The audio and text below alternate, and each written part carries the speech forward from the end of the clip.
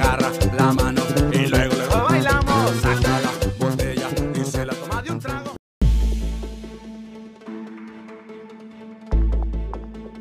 A ver, mi, mi pájaro, ¿qué, qué fue? Digo, tu reacción al momento en que viste ese video, ¿qué dijiste? ¿Qué pensaste? Caray, porque así te sacó de onda, ¿no? Después de aquel tiempo que estuviste en esa banda. Si algo dejé bien claro ahí es que no estoy hablando ni de cuisillos, ni estoy hablando de talento, estoy hablando de una situación meramente personal, eh, que se acumularon muchas cosas, ya se acumularon demasiadas cosas. Esto me hace preguntarme cómo se expresará de mí eh, cuando no hay una cámara presente. Eh, he recibido mensajes ofensivos hacia mi persona.